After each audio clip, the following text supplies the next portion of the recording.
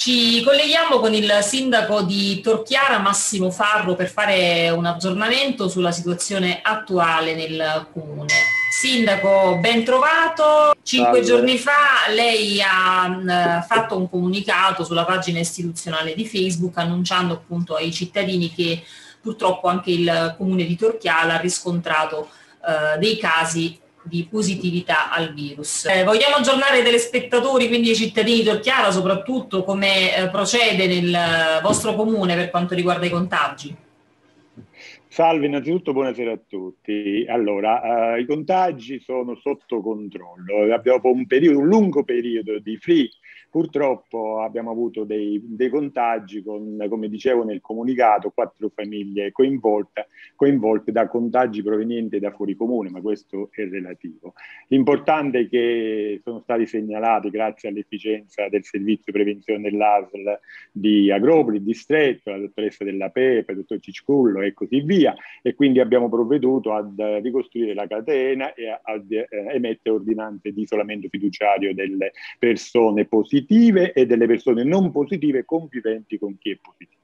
E quindi per il momento riusciamo, abbiamo, la situazione è sotto controllo, quindi c'è stata questa piccola impennata che sembra sia, non sembra, sta rientrando, con un po' con eh, della, un paio di persone un, sta, si sta pro, allungando un po' più del, del, previsto, altri sono rientrati, abbiamo effettuato dei tamponi di, di, verifica, da premettere che il Comune di Torchiara ha acquistato a proprie spese dei tamponi che sono stati messi a disposizione del servizio eh, delle analisi ad, dal dottore Ametrana d'Agropoli, quindi noi effettuiamo i tamponi dei nostri cittadini immediatamente, anche quelli di verifica per avere la certezza la sicurezza della possibilità o meno di, dei soggetti a rischio. Quindi abbiamo effettuato anche dei tamponi, oltre a quelli fatti dall'ASE, nei tempi previsti dalla normativa, dei tamponi di verifica appunto per accertarsi del perdurare o meno della positività. Quindi la situazione è, non è grave, è sotto controllo. Questa è la cosa che mi sento di dire ai cittadini di Torchiara e ai paesi limitrofi. Riusciamo a tenerla sotto controllo grazie alla collaborazione alla del, del, soprattutto dei cittadini, quindi invito tutti al rispetto delle normative, quindi del distanziamento, della mascherina, di quelle norme che ormai eh, da più di un anno siamo, conosciamo benissimo, perché bisogna stare sempre allerta. Ne è un esempio oh, il, eh, l'incendio che si, è acceso immediatamente nelle festività pasquali nei paesi limitrofi.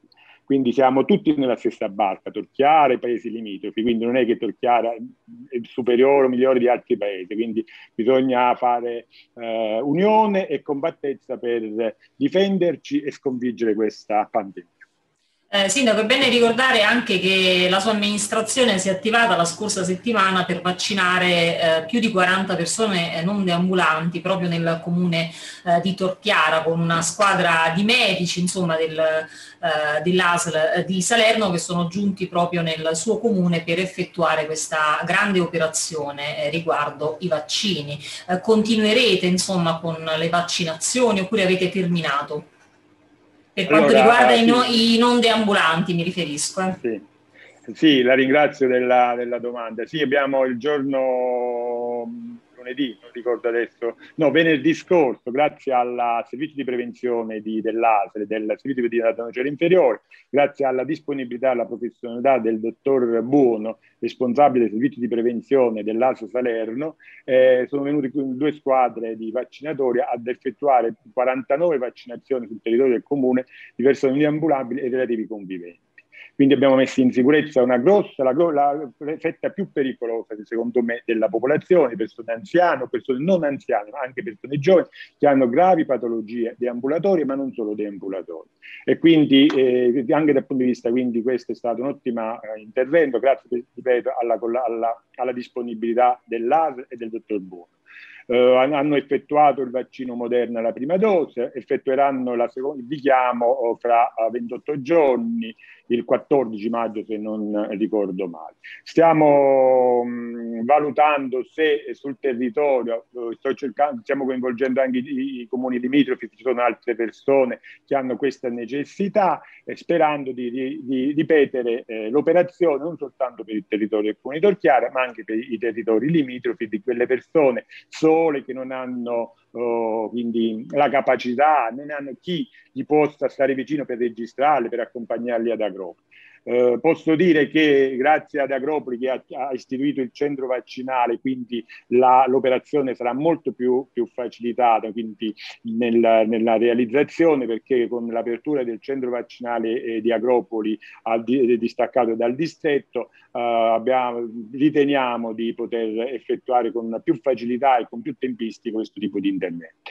Eh, quindi da questo punto di vista, ripeto, eh, ci, ci, tranquillizza perché, le ripeto, eh, a noi ci coinvolge anche moralmente questo aspetto, perché ci, io mi parlo come amministratore, ma penso di eh, esprimere il, il, sentimento di tutti i miei colleghi. C'è anche un aspetto morale che, ci, che ci, ci, tocca tantissimo, sapere che il nostro concittadino è positivo in gravi condizioni e non riuscire a, oppure a fare poco o niente ci, ci tocca tantissimo. Quindi eh, bisogna capire le, le difficoltà di un piccolo comune, eh, le difficoltà del, di, degli operatori medici, sanitari, non sanitari nell'effettuare le vaccinazioni, perché eh, questa è una, un'operazione eh, imponente. Vaccinare tutta, tutta, tutta, la cittadinanza, vaccinare tutti, tutti, tutti, i cittadini non è semplice, con tutte le complicazioni che ci porta. Io capisco la rabbia, eh, lo sconforto, il disappunto dei, dei cittadini, ci mancherebbe, ci sta tutto,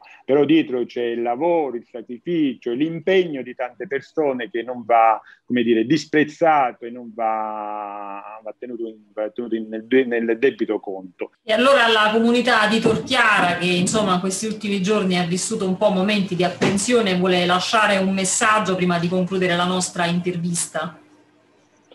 Sicuramente, di stare tranquilli. Io chiedo soltanto ai miei cittadini, ma a tutti quanti, di rispettare le norme che conosciamo benissimo.